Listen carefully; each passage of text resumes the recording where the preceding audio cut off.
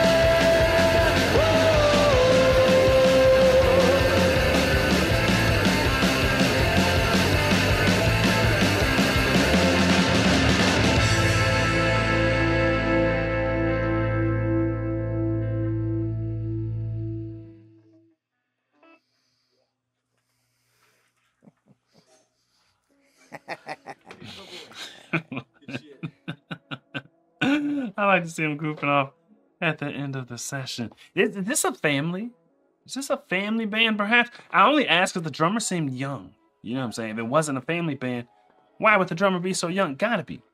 Gotta be a family band, maybe brothers and cousins or something like that. Now, that's definitely a relatable song. I would say modern day, but I feel like for the, for all of human history, not much has changed. Yeah, we have technology, but I feel like our heads have always been kind of screwy because there's crazy stuff going on in the world. Always has been, always will be. We don't know how to process it. We don't know how to contextualize it. So our heads are just the, the craziest things. It, it, it, can be different for everybody.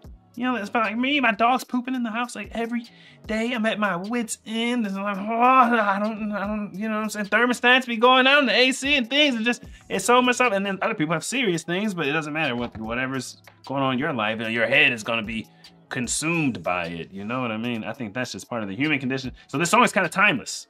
It's kind of timeless, and this will always be a relatable song. I don't know. Tell me, man, what do you know? What do you know?